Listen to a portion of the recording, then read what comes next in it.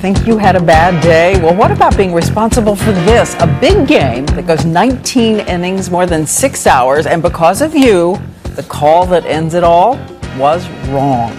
Here's GMA News anchor Josh Elliott. It was an umpire's worst nightmare, an unquestionably bad call made at the most inopportune time.